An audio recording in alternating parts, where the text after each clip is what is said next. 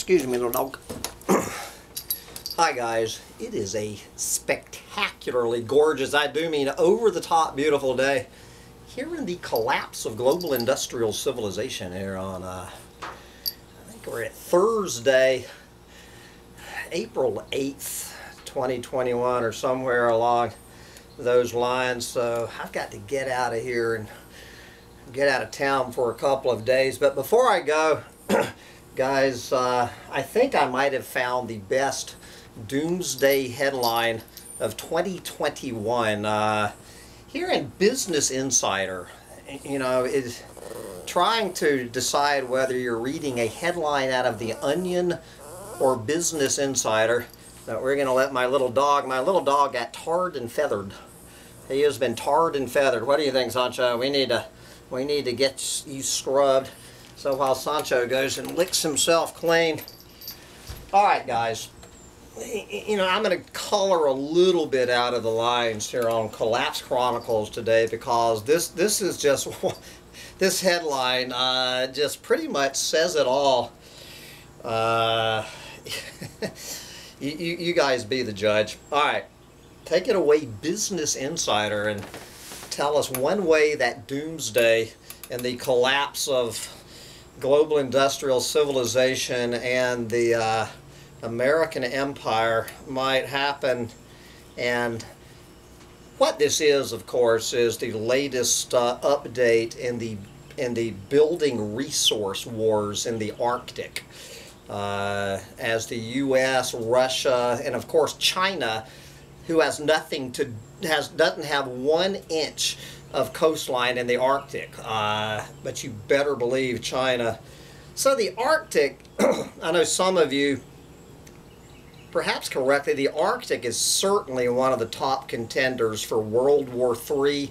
My vote is still with the South China Sea, but anybody who wants to place their votes in the Arctic as the, so just listen to this story uh, from the mainstream media. Take it away. Russia is testing a nuclear torpedo in the Arctic that has the power to trigger radioactive tsunamis off the U.S. coast. There you go. There's a lot packed into this sentence, guys. Let's find out the new Rusky, the newest Rusky threat to the American empire.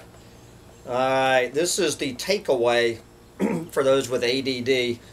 We have three takeaways before the whole story. Okay, number one, Russia is testing a nuclear torpedo in the Arctic. Number two, the Doomsday device has the power to trigger radioactive tsunamis off America's east coast. Oh, I thought they were talking about somewhere like Alaska radioactive tsunamis off America's east coast. We're talking New York City, we're talking Washington, New York City, and Boston. The Pentagon said it is watching developments very closely. Okay, what's this all about?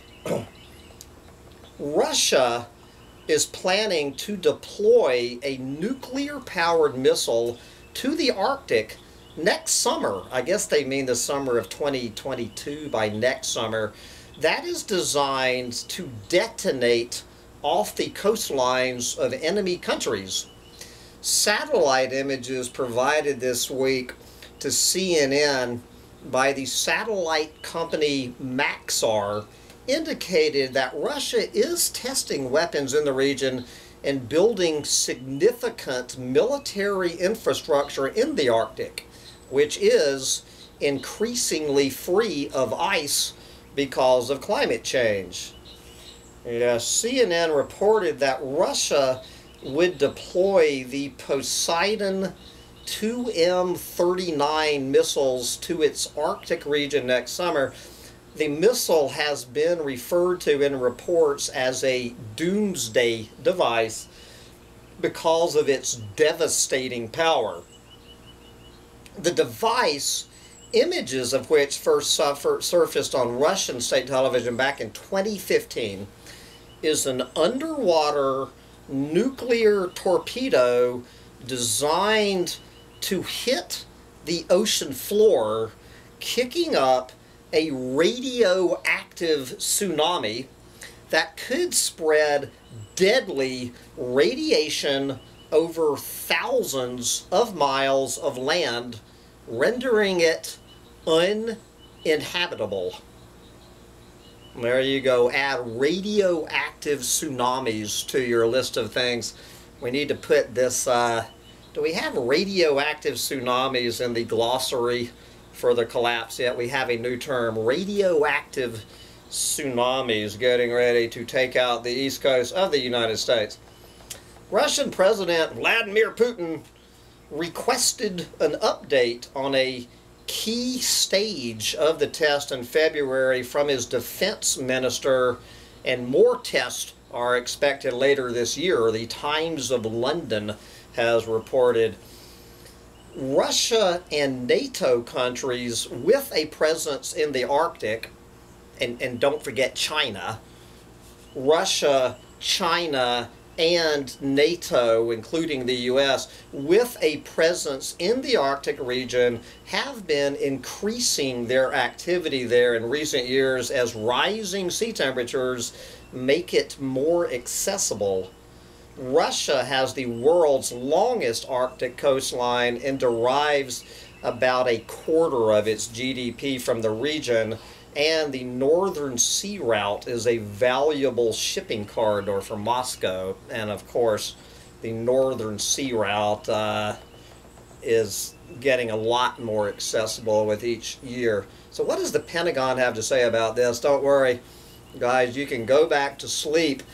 The Pentagon on Monday said it was watching reports of Russian military activities and infrastructure buildups in the Arctic very closely.